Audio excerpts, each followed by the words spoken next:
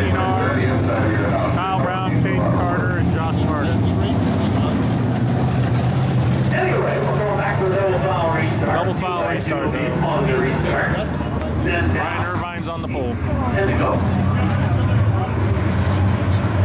It'll be the 26, once again, of Hunter Ryan on the front row, along with the 62 of Hunter Marriott.